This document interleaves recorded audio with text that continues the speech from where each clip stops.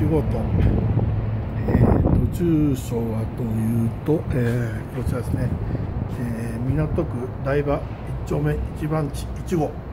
111ですね。素晴らしい。ちょっとエントランスに入っています。はいそうするとこちらがエントランスがあってすぐに管理人室が来ます。はいこちらのオートロックですね。でこちらが中これエントランスの周りということになります。はいよろしくお願いいたします。